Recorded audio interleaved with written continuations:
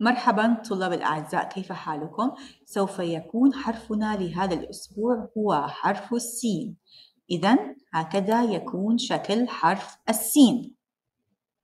سوف أقوم بتعليمكم كيفية كتابة حرف السين.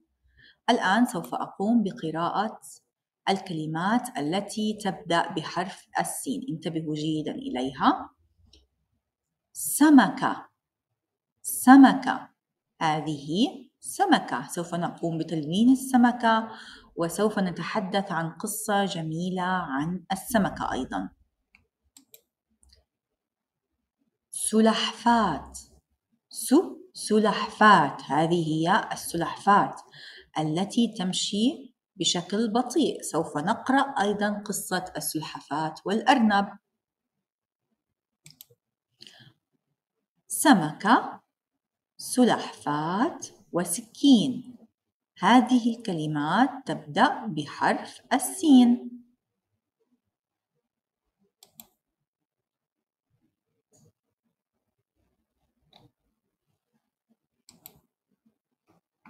سوف نقوم أيضا أعزائي الطلبة بتلوين حرف السين داخل الخط. حتى تكونوا طلابا متعلمين ومفكرين سوف تقومون بتلوين حرف السين داخل الخط. وهنا أيضا في كتاب اللغة العربية يوجد كلمات كثيرة تبدأ بحرف السين.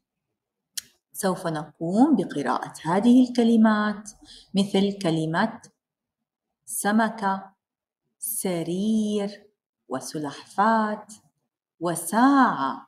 أيضا هي هذه الساعة سوف نقوم بتعلم أيضا كيفية تنظيم وقتنا وماذا نفعل بالروتين اليومي من خلال التحدث عن وحدة من نحن.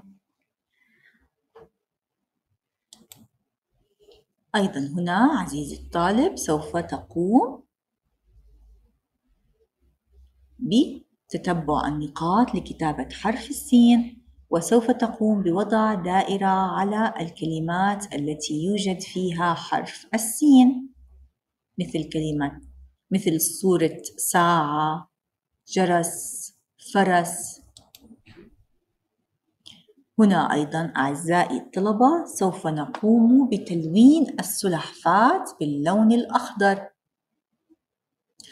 وسوف نقوم أيضا بإلصاق بعض قصاصات الكرتون على هذه السلحفاة حتى يصبح شكلها جميل.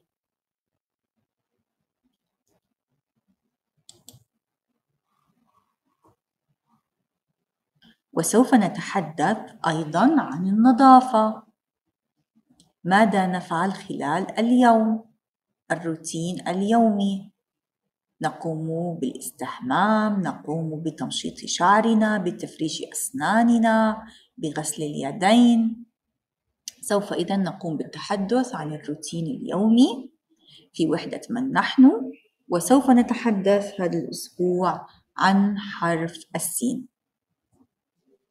إذا هذا كل ما لدينا لهذا الأسبوع. شكرا لكم وإلى اللقاء في حرف جديد. شكرا لكم.